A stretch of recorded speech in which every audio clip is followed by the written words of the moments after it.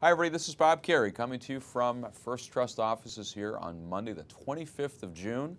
Uh, the uh, end of the month, the end of the quarter is right around, uh, right around the bend. The market is uh, focused, obviously, on uh, the economy, as as always. Developments in Europe, uh, the housing sector as well. There's certainly a lot of cross currents that are having a, a, positive impact one day and a negative impact the next day on the financial markets. the market was down about 2.5% in Europe this morning. Credit spreads in Europe, in other words, interest rates in uh, Italy and Spain and all these other countries that, uh, that we are supposed to be worried about. Those interest rates went up, their stocks went down as a result, and all of a sudden that's spilling over to uh, our financial markets. Uh, just a quick thought, we had a pretty good number today on uh, housing starts. In fact, housing uh, looks to be turning the corner, and it's interesting on a day in which we uh, I think got some very convincing data that housing in the U.S. has clearly turned the corner. It looks like we're uh, starting to see that industry, that part of the economy begin to rebound.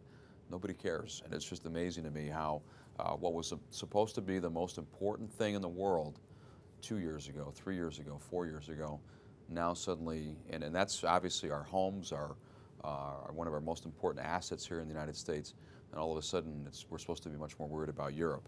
Um, I don't always get this stuff, but uh, amazing to think about nonetheless. Uh, we have uh, a lot of economic data due this week.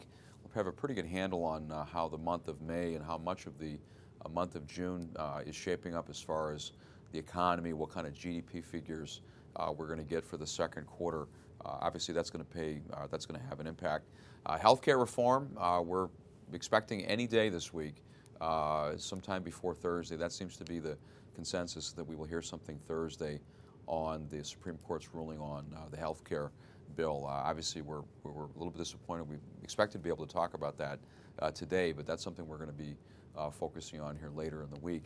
But more importantly than that, this is um, really the next couple of weeks, even though we have the holiday in the middle of the week next week and so forth, it's going to be relatively quiet, I, I would expect around that time. The fact is that we are uh, always interested in earnings. Uh, from our perspective as uh, financial analysts, as we put together our portfolios, uh, we're, we're really betting on the, uh, the ability of companies to make good investments themselves. That's really what drives valuations in the financial markets ultimately, is whether or not companies do a good job of taking capital in, reinvesting capital, whatever the case may be, putting money to work and then uh, getting a return on that investment. And uh, over the last several years, we have seen a very steady improvement in the rate of return that companies get on their invested capital. In other words, balance sheets uh, have become much more productive. Higher returns uh, have been the norm really across the entire uh, spectrum of uh, stocks in the stock market. And,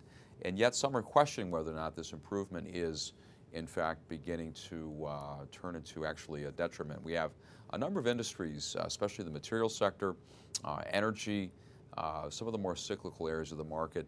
Uh, with the economy uh, softening here the, the, last couple of months, there is concern, there are concerns about returns coming down. Now we are expecting earnings, at least among consensus estimates are implying that we're going to get a very slight decline in earnings for the second quarter in comparison to what we saw last year in the second quarter. And uh, I, don't, I don't necessarily buy into that. I think we actually uh, will see continued uh, year-over-year growth or incre increases in earnings for the S&P 500 as we get results here in the next couple of weeks. It's been fairly quiet. We haven't heard from too many companies uh, kind of a, kind of warning us and warning the uh, street, as you will, as, as they call it, that we're going to have earnings disappointment. So I think uh, there's a good chance that earnings come in better than expected. As far as uh, sectors, uh, the, the materials sector, as I said earlier, energy, those kind of uh, areas of the market, uh, even utilities are expected to post uh, rather significant declines in earnings. We are expecting gains. in fact, the biggest gains in earnings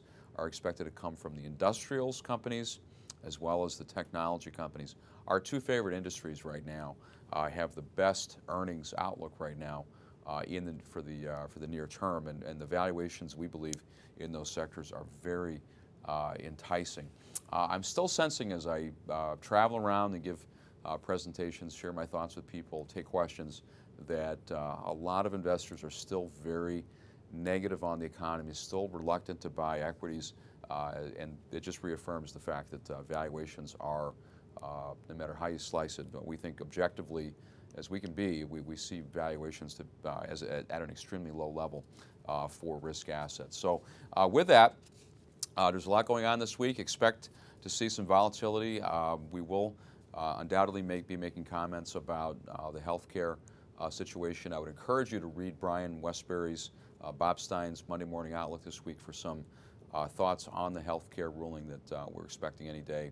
And with that, we'll check back in with everybody, uh, like most likely the early part of next week. So, anyhow, have a good week. We'll talk to you then.